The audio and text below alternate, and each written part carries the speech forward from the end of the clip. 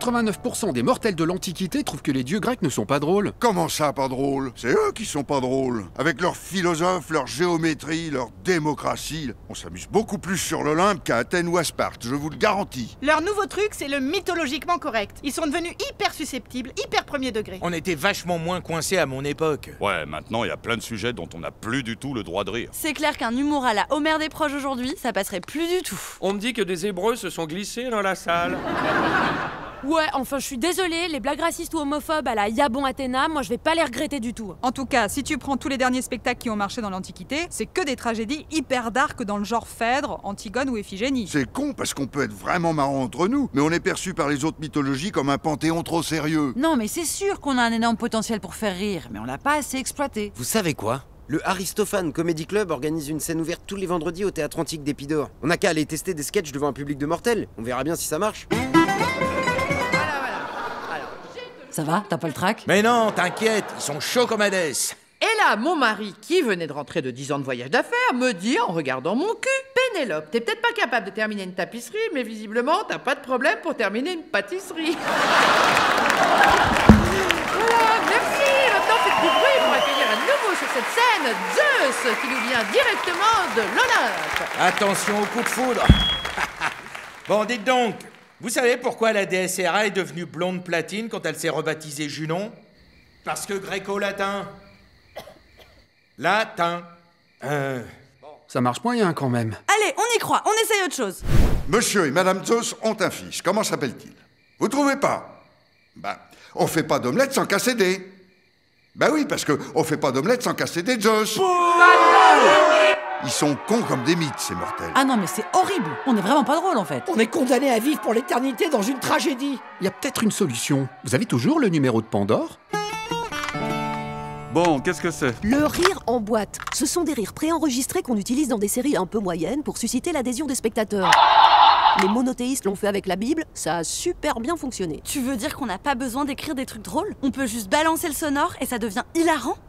Cet heureux temps n'est plus, tout a changé de face, depuis que sur ces bords les dieux ont envoyé la fille de Minos et de Pasiphae. J'entends De vos douleurs la cause m'est connue. Phèdre ici vous chagrine et blesse votre vue. Les amis, il faut qu'on se grouille là. Je vous rappelle qu'on est invité à dîner chez Feistos quand même. Ah oui, ben faut mettre le turbo alors. Parce que Hadès Rochechouart, c'est à perpète les oliviers. Je sais pas pourquoi il s'est installé dans un quartier pareil. On peut demander à Apollon de nous y conduire? Ça ira vite comme ça. À cette heure-ci, on va se taper tous les embouteillages sur le Styx. Et puis je sais pas si vous avez essayé de trouver une place de stationnement dans la mythologie récemment, mais c'est vraiment l'horreur. Et puis si c'est pour se faire rayer les portières du char du soleil en pleine Hadès Rochechouart, merci bien. Pourquoi on prendrait pas plutôt le métro? Les mortels n'arrêtent pas de nous critiquer sur le mode les dieux de l'Olympe se croient supérieurs à tout le monde. Comme ça, on montrerait qu'on peut être proche du peuple. Ah ouais, bonne idée. Hermès, tu gères? Euh, je suis le dieu des voyageurs. Je suis pas le dieu des plans foireux de dernière minute, mais bon. Cher les tickets. Heureusement qu'on a la carte famille nombreuse. Bah, t'as un abonnement toi. J'ai piqué le passe Navigo des Argonautes. Oh là là, on va galérer pour l'itinéraire. Il y a combien de changements? On peut passer par Champs-Élysées et changer à Montparnasse, non? Tu dis ça parce que c'est les seules stations dont t'as entendu parler dans ta mythologie. C'est sympa l'ambiance en fait. Tous ces mecs de la mythologie précolombienne qui font de la musique. Pour la fuite de pan, pardon, mais faut demander un copyright. C'est hallucinant le monde à l'heure de pointe. La ligne 2, c'est pire que le cheval de Troie en fait. Faites gaffe, les filles. Il paraît qu'il y a des gros pervers qui en profitent pour se frotter contre vous. Bah, ça nous changera pas vraiment de la mythologie. Hein. Y a pas un truc qui vous frappe là? On est dans le métro grec et y a quasiment pas un seul passager du wagon qui soit issu de notre panthéon. Enfin, Zeus C'est quoi ces remarques de gros provincial? C'est génial, justement C'est comme un voyage à travers les mythes du monde entier, mais juste au pied de l'Olympe. Excusez-moi de vous déranger pendant votre trajet. Et allez, encore un mec qui fait la manche. Et attendez, c'est pas Héraclès? En la rue depuis 7 mois, j'ai perdu mes 12 travaux et je suis toujours à la recherche d'un emploi. Il a pris cher, hein, dis donc. Si vous pouviez me dépanner d'un ticket restaurant, d'une ou deux oboles pour rester propre et nettoyer les écuries d'Ogias, ou juste un petit sourire. Pickpockets peuvent être présents en station ou à bord des trains. Ah bah pour ça on risque rien. On a quand même le dieu des voleurs avec nous, pas vrai Hermès? Oui, enfin bon, c'est pas mon job principal non plus. Mesdames, messieurs, Ah bah dites, série là. Voilà Ulysse maintenant. moi grand malheur, famille moi rester Itac, pas pouvoir C'est dingue maison. Je me rendais pas compte à quel point la mythologie gréco-latine s'était paupérisée ces derniers Eh, temps. attendez, c'est notre station là Oh, les enfants de pitié Bah quoi? Je me suis fait piquer ma foudre J'ai une foudre tombée du camion si ça peut te dépanner. C'est fou. La seule fois où Zeus prend le métro, il se fait dépouiller. Non mais t'es un peu tarte aussi. Personne ne prend la ligne 2 avec un éclair à watt mille au bol qui dépasse de sa poche.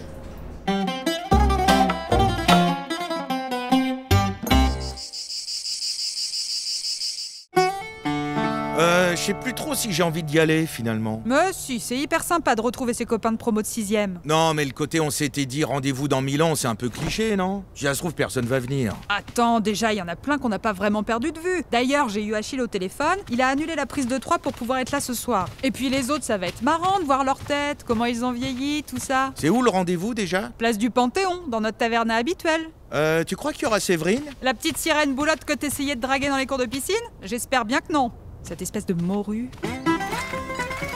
Ça a changé le quartier gréco-latin. Il n'y a plus que des boutiques d'Hermès. Ah bah ils sont tous déjà arrivés, j'ai l'impression. Ah mais non Ça c'est rare Vous êtes toujours ensemble Oh là là, mais trop trop de souvenirs Mnémosine, t'as pas changé Et toi, Jason, c'est quoi cette toison d'or? Quand je pense que tu t'habillais qu'en jogging Tenez, vous êtes servi?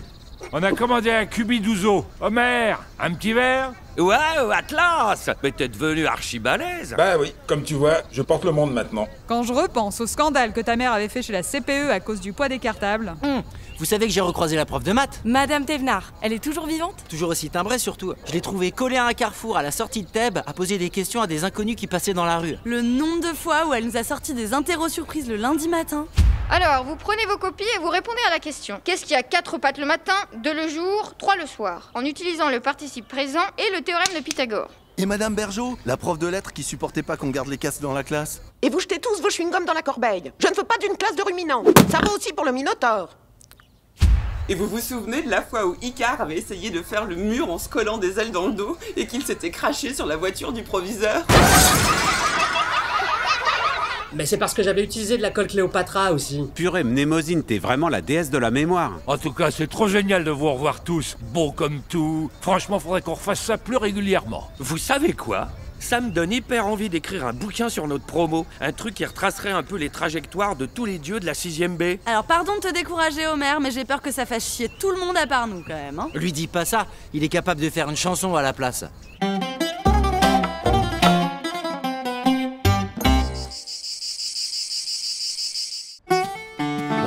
Rien à faire. Vous arrivez toujours pas à faire rentrer votre cheval dans la ville de Troyes. Non, non, ça c'est bon, on les a tous massacrés. C'est juste que les enfants ne lisent plus du tout. Ah bon? À mon époque, on dévorait 20 000 lieux sous Homer ou les bouquins de la bibliothèque rose d'Alexandrie comme une série Grecflix. Tu crois pas que c'est juste qu'ils ont des centres d'intérêt différents L'Iliade, l'Odyssée, ça manque quand même un peu d'imagination, non? Ouais. Je suis sûre que si on réécrivait un peu notre mythologie dans le style de J.K. Rowling, on aurait beaucoup plus de succès.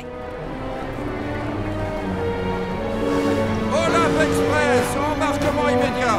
Seuls les dieux et déesses inscrits à l'école des sorciers sont invités à monter à bord. Sisyphe, attends, je t'aide à pousser ta boue. Ah non, mais c'est bon, papa Je peux m'asseoir ici? Il y a plus de place nulle part. Euh, bah oui, bien sûr. Au fait, je m'appelle Apollon. Apollon Weasley. Et toi? Harry. Harry Jupiter. Alors c'est donc vrai Tu as vraiment une cicatrice en forme de foudre? Oui. J'ai été élevé dans un placard sous l'escalier d'une grotte en Crète, allaité par la chèvre Amalthée et maltraité par Chronos et Rhea Dursley. Et toi? Oh non, moi, euh, ça va, hein, je... Ah, vous êtes les nouveaux dieux? Je me présente, Athena Granger, et voici ma chouette copyright. Vous devriez mettre vos toches de sorcier, on ne va pas tarder à arriver.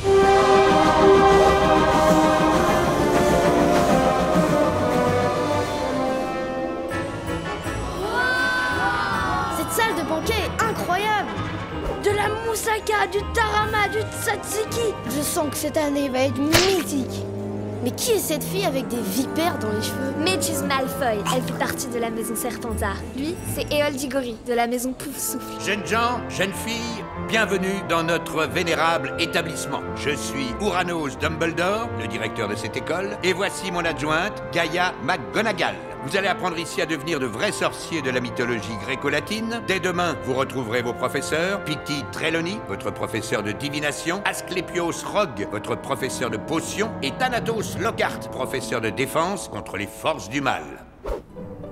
Nous allons apprendre aujourd'hui à nous servir d'un balai. Estia Lovegood, démonstration? Waouh,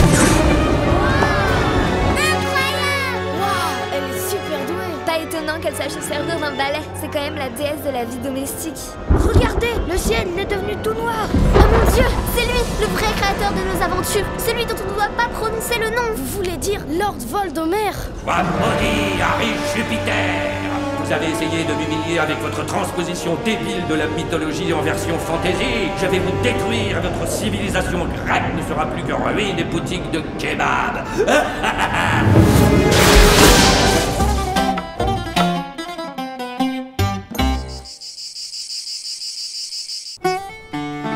alors, vous savez tous que cette année encore, notre mythologie n'a pas réussi à équilibrer ses comptes. Alors je ne sais pas si c'est à cause de la guerre de Troie ou des travaux de peinture dans le palais sous-marin de Poséidon, mais on est ultra déficitaire. Et des pensions alimentaires de Zeus, on en parle? En tout cas, ça ne peut plus durer. Il y a un vrai risque de faillite et c'est pourquoi nous avons demandé à deux grands spécialistes des montages financiers et de la spéculation boursière de venir nous aider. Vous avez tous entendu parler du roi Midas, ancien trader de la Société Générale. Tout ce qu'il touche se transforme en or. Et en ce moment, on en aura bien besoin. Il a peut-être fait de l'or, mais il a surtout fait de la tôle. Et voici également Hubris, la déesse de la démesure et de l'arrogance, dont nous allons avoir très vite besoin si on ne veut pas se retrouver dans la moussaka jusqu'au cou. Bon, alors c'est quoi votre plan? On s'est dit que ça faisait longtemps que l'Olympe aurait dû être introduit en bourse. C'est complètement anormal à votre niveau de notoriété que vous n'arriviez pas à monétiser davantage votre mythologie. Avec un peu de toilettage, vous devriez pouvoir rentrer directement dans les sociétés du ITAC 40. Nous allons dégraisser un peu les effectifs avec une suppression des divinités subalternes, comme les moires ou les muses. Il faut encourager la flexibilité et la polyvalence sur le modèle des 12 travaux d'Hercule. Il faudra aussi regrouper les services sur un seul et même site. Hadès et les enfers devront partager un open space sur l'Olympe avec le juridique et la comptabilité. Et puis ce qu'on va faire très vite, c'est rebaptiser certains des dieux pour les rendre plus attractifs. Des vieux noms grecs, c'est plus du tout sexy pour un investisseur. Au début, on avait pensé à tout latiniser, genre Jupiter à la place de Zeus, euh, Junon pour Héra, Diane pour Artémis, etc. Mais notre bureau d'études a établi que c'était surtout les noms de la mythologie anglo-saxonne qui faisaient le plus vendre.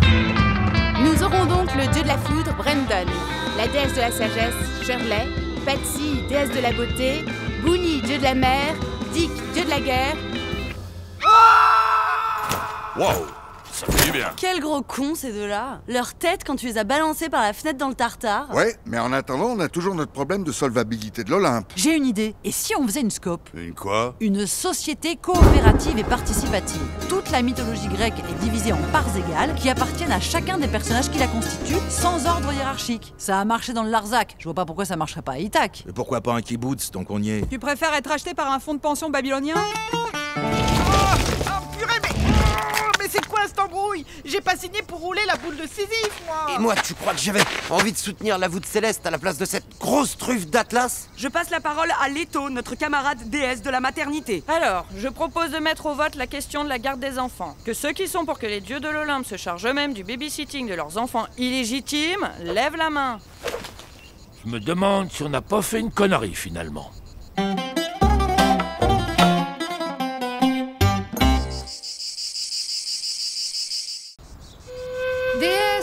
Déesse chasseresse, fille du grand Zeus et de Leto, reçois cette offrande votive de ton humble servante, que par ce sacrifice et ces libations, ton auguste protection nous protège. Mais t'es malade ou quoi? Fais surtout pas ça. Hein? Mais c'est quoi le problème? Mais enfin, regarde. T'es en train de faire brûler une offrande de poulet aux olives et à la feta. Ben quoi, c'est hyper bon, c'est les recettes méditerranéennes d'Otolenghi, le chef hébreu qui cartonne en librairie. Attends, ça fait combien de temps que tu travailles au sanctuaire d'Artémis? Bah en fait, c'est ma première semaine, je... Bon écoute, si tu veux garder ton CDI à Éphèse, t'as intérêt à un peu te renseigner. On ne peut pas faire des offrandes de fromage à la déesse Artémis. Elle a une méga intolérance au lactose. Si elle s'aperçoit qu'on lui a envoyé de la feta, on va toutes devoir retourner bosser chez Télé McDonald's. Je savais pas que les dieux aussi pouvaient avoir des allergies alimentaires. Ah bah avant ils mangeaient tout, hein, ils mangeaient même leurs enfants. Mais la nouvelle mode dans la mythologie grecque, c'est les régimes particuliers. C'est devenu une galère insupportable d'organiser des banquets sur l'Olympe. Bonsoir, bonsoir. Eh, salut Homer T'as l'air hyper content, dis donc. Eh ouais, j'avais envoyé mon manuscrit de l'Iliade chez Gallimard et ils m'ont dit qu'il fallait que je retravaille un peu, mais qu'ils trouvaient ça prometteur. Waouh, mais c'est cool. Ça s'arrose, ça. Dionysos. Allez, Ouzo à gogo? On dîne quoi avec ça J'ai chassé un sanglier cet après-midi. On peut se faire un barbecue Pitié, Artémis, on a dit qu'on arrêtait avec la viande. Moi, je vous préviens, j'ai décidé d'être végétarienne. N'importe quoi. Tu t'es cru dans la mythologie hindoue ou quoi On peut toujours se faire livrer une casserole de moules frites chez Apollon de Bruxelles Ah non, pas de fruits de mer, ça me donne des boutons sur les fesses. Dit la fille qui dort dans une coquille Saint-Jacques. Bah, le truc le mieux, c'est peut-être qu'on se fasse chacun des petits sandwichs à ce qu'il veut, non? Ah, mais attends, Déméter Vire-moi ta gerbe de blé du plan de travail On est au moins trois ici à avoir dû renoncer au gluten. Comment t'espères qu'on s'enfile des sandwichs? Non, mais Estia, dis pas ça pour te vexer. C'est cool que tu sois la déesse des récoltes, mais tu voudrais pas plutôt faire des plantations de tofu? Au fait, je ne sais pas si les sirènes vous ont dit, je n'ai plus du tout le droit de prendre de sel. Déjà, rien que le fait d'habiter dans un palais sous-marin, ça me donne de l'hypertension, alors... Euh, c'est bon, c'est fini? On a fait le tour des allergies, là? Euh, Asclépios m'a aussi interdit le sucre. À force d'avoir été nourri exclusivement de miel par la nymphe Mélissa, j'ai un taux de glycémie et un cholestérol de dingue. Sinon, Arès est crudivore, Castor et Pollux sont allergiques aux œufs, Hera aux fruits à coque, et la dernière fois que Pri a pas touché du latex, il a eu un œdème de Quink. Enfin, a priori, le latex, on ne le mange pas. On n'a qu'à cuisiner directement des antihistaminiques à la vapeur, hein, dans ce cas-là. Ah, mais sans déconner, ça devient compliqué pour tous manger ensemble, là. Qu'est-ce qu'on fait, sérieux?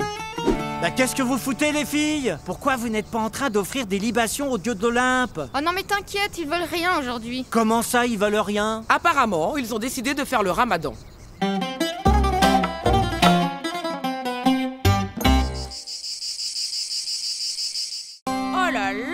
Je viens de voir le dernier film de Brandon Wagner, c'est incroyable Ah ouais, ça parle de quoi? C'est une bande de braqueurs de la mythologie germanique qui réussissent le casse du siècle en piquant l'or du Rhin gardé par un dragon, je te dis pas le suspense de fou. Oui, bon, c'est un peu banal comme histoire. Tu dis ça parce que t'es jaloux, Hermès. Comment ça? Bah, je veux bien que tu sois le dieu des voleurs, mais euh, jusqu'ici, à part piquer des petites culottes d'Aphrodite sur le fil à linge, on t'a pas vu braquer grand chose dans la mythologie grecque. N'importe quoi. C'est juste que je suis aussi le dieu des marchands, le dieu de la communication et le dieu des voyageurs. Alors excuse-moi d'être un peu si tu veux. Non mais c'est vrai que si t'étais vraiment dans le game, tu montrais une opération qui aurait de la gueule, quoi.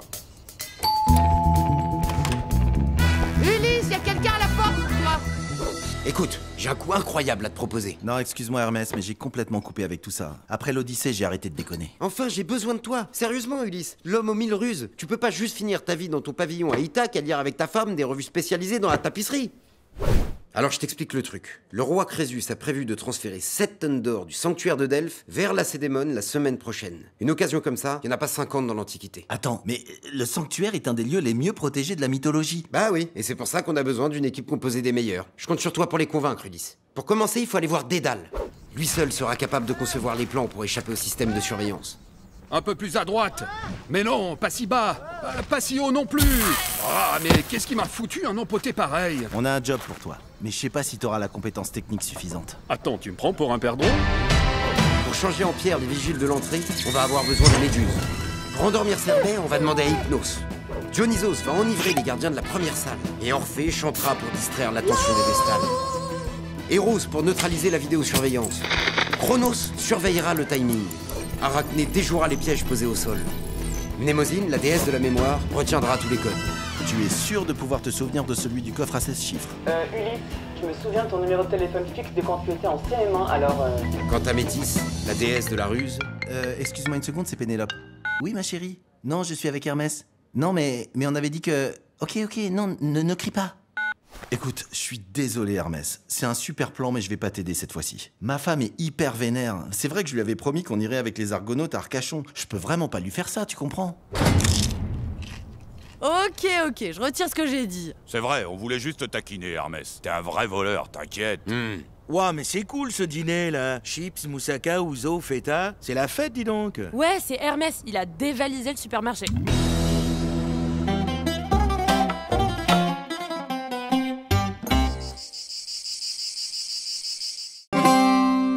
Viens Sinon, je me remets à ma tapisserie, moi. Attends, t'aurais pas vu mon casque? Ça fait une plombe que je le cherche et... Ulysse, il est sur ta tête, ton casque. Ah mince, je suis con. Ok, on est bon. Enfin non, il faut qu'on achète une bouteille pour le dîner, on va pas arriver les mains vides quand même. Oh, bah, je sais très bien où on va aller. Il y a un petit caviste qui vient d'ouvrir au pied de l'Olympe. Ganymède, il paraît qu'il est génial. Ah bon? Eh Oui, la tonnelle des Danaïdes, le mec a fait toute sa carrière comme sommelier à la table des dieux avant de s'installer à son compte. On pourrait peut-être l'essayer. Et encore un truc de bobo gréco-latin qui savent plus quoi faire de leurs oboles. C'est pas un peu chichiteux En tout cas, il a des super commentaires sur MeetAdvisor. Vous sentez l'arôme de moussaka? Ah oui, c'est fou. Avec un peu de tzatziki en attaque, non? C'est vrai qu'il est bon. On part sur une caisse alors? Excellent. Maxence, tu t'en occupes? Nickel. Et si vous êtes un peu joueur, essayez de repasser un jeudi, on organise des dégustations à l'aveugle avec Homer. À nous, vous savez un peu ce que vous cherchez? Bah, on a eu une mauvaise expérience récemment avec un château cerbère, alors on voudrait quelque chose qui tape un peu moins. Je sais pas si vous voyez ce que je veux dire. Alors là, vous avez frappé à la bonne porte. Moi, tous les vins produits dans le tartare, la bourrée de soufre et qui vous font une gueule de chien à trois têtes le lendemain matin, j'ai arrêté depuis longtemps. Pour le reste, on n'a pas trop d'a priori. Ça tombe très bien parce qu'on a un château d'Édal de chez Minos en dégustation. Alors c'est un petit vin crétois qui va très bien sur du tarama ou sur de la chair humaine. Si vous aimez le vin naturel, vous avez entendu les raids dingues. Tenez, minute découverte. Il a un petit goût de pisse de vache quand même, non? Ah bah si la question c'est est-ce qu'il a poussé sous le cul du Minotaure, là je peux pas vous assurer du contraire.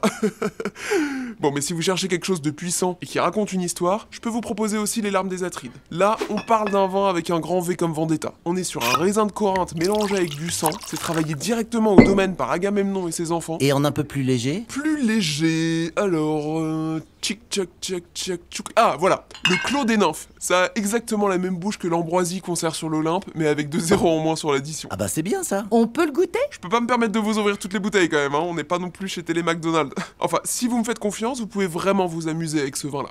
Et si on partait plutôt sur de l'ouzo? Eh ben c'est malin, il nous a virés. Et à cette heure-ci, bonjour la galère pour trouver un autre truc ouvert. Comment il se l'a raconté sérieux? Tiens, regarde, il y a un dieu précolombien qui tient une supérette là-bas. Hola hola, buenas noches. Euh, está oberto el magazino?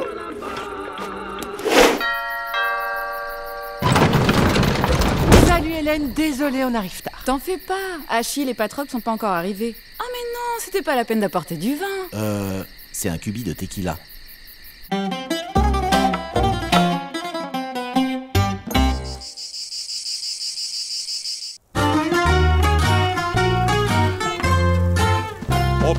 Fait chaud aujourd'hui. On peut pas demander à Eol de nous faire livrer des ventilateurs sur l'Olympe Je transpire tellement que j'ai le cul qui colle au coquillage. Ça me rappelle nos dernières vacances à Mykonos. Et vous avez prévu d'aller où cet été d'ailleurs? On a réservé un bungalow dans le Tartare. Vu qu'avec le virus, on peut plus voyager hors de notre mythologie, autant viser un endroit où on est sûr de pouvoir se baigner sans mourir de froid. Enfin, se baigner dans le l'été, c'est pas sûr que tu ramènes beaucoup de souvenirs. Ah, moi, en vacances, j'oublie tout. Salut la compagnie Hein? Hadès? Mais qu'est-ce que tu fais en dehors des enfers? C'est le réchauffement global de la mythologie. Avec une augmentation de 2 degrés de température moyenne dans le Tartare, même pour les morts, c'est plus vivable. Bah du coup on est bien obligé de déménager hein. Bon pour le moment on a juste pris Cerbère avec nous. Il y a Sisyphe qui nous aide à porter les bagages mais il y a tous les autres qui débarquent bientôt en principe hein. Vous allez bien nous trouver un canapé-lit sur l'Olympe, non? Des réfugiés climatiques. On a des réfugiés climatiques dans notre mythologie maintenant. On aura tout vu, vraiment. Enfin, en même temps, pardon, c'est pas comme si on nous avait pas alerté depuis des années. hein. Vous avez lu le dernier rapport du grec? Ils annoncent une hausse des températures dans tout le bassin méditerranéen et des phénomènes extrêmes dans l'ensemble des mythologies. Inondations dans la mythologie germanique, vent violent dans la mythologie scandinave.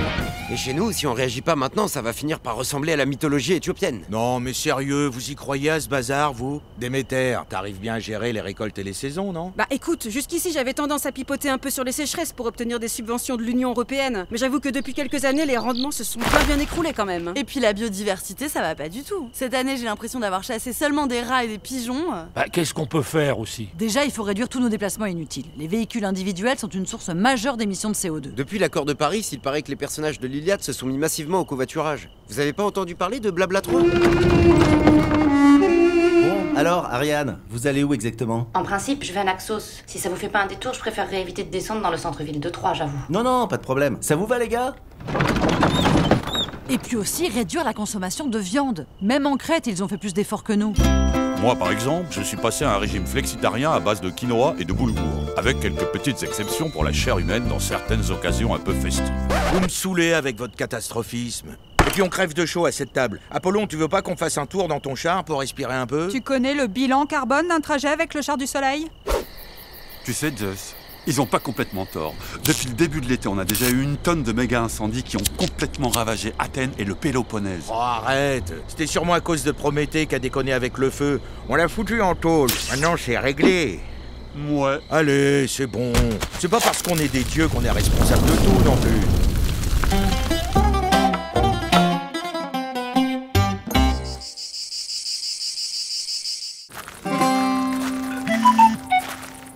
Tiens, Mnemosyne a envoyé un rappel.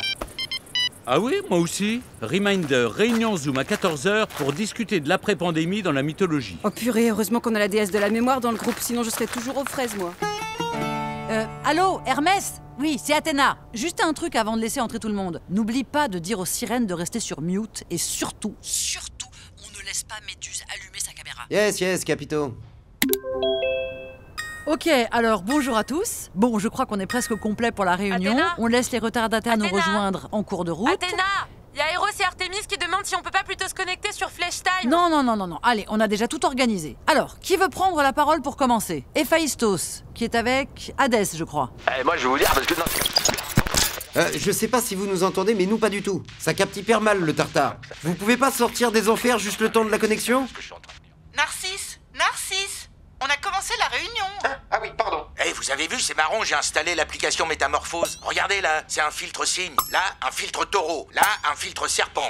c'est relou en fait. Bonjour à tous. Pardon, je suis en retard. Ah, dis donc, Héraclès, ça fait longtemps. Ça a été le confinement? Bah, j'ai toujours pas repris mes douze travaux en présentiel. Là, je suis sur le nettoyage des écuries mais à distance, c'est compliqué. Ah ouais, forcément. Donc, on a pas mal de sujets. Je vous propose d'évoquer du coup celui du statut des divinités subalternes qui ont été en première ligne pendant la pandémie, sans toujours être reconnues dans leur travail, il faut bien l'avouer. Les filles qui commencent La nymphéco Oui, on est quand même plusieurs milliers de nymphes terrestres, des centaines de navires. Vas-y, coupe la nymphéco, on l'entend en écho.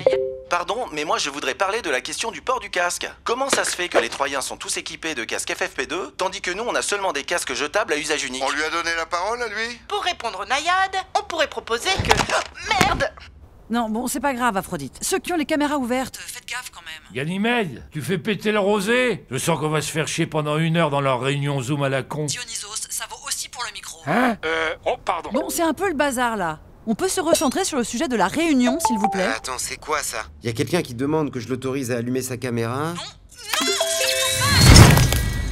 Ah, salut Je vous voyais, mais je n'arrivais pas à ouvrir la vidéo. Ça marche jamais, ce truc. Et voilà, ça recommence. Je ne vous vois plus. Pourquoi est-ce que c'est moi qui ai toujours des problèmes avec Zoom? Vous êtes tous figés, là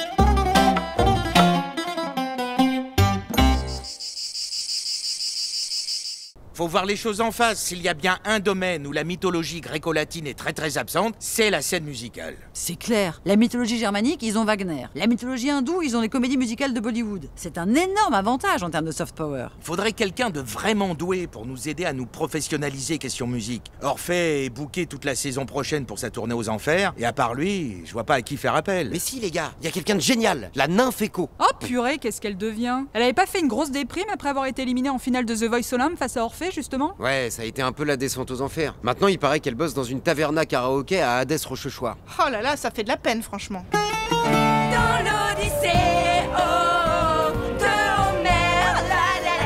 Écho, je suis sérieux, on a besoin de toi. Non mais j'ai du boulot là. Rien que ce soir, on a trois enterrements de vie de jeunes nymphes, donc j'ai pas trop le temps. Laisse-nous au moins t'expliquer. On veut monter une comédie musicale. Tu es la seule qui peut réussir à nous faire répéter. C'est toi la meilleure, Écho, tu le sais. Sans toi, la mythologie grecque arrivera jamais sur le devant de la scène. Car elle voulait se cacher dans un cheval en bois, comme un Troie, comme un Troie, comme un Troie. Bon, rendez-vous devant le Parthénon demain à 19h. Mais je ne veux pas de bras cassés, compris? Comme un Troie.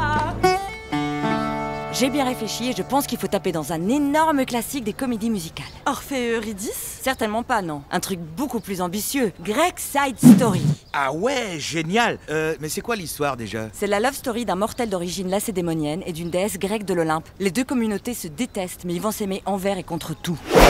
Les Olympiens appartiennent à un gang dénommé les Grecs. Les autres appartiennent au gang des Spartes.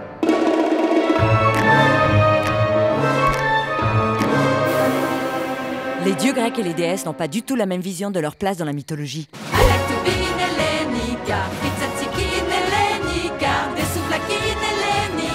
Mais on est tous dans la moussaka.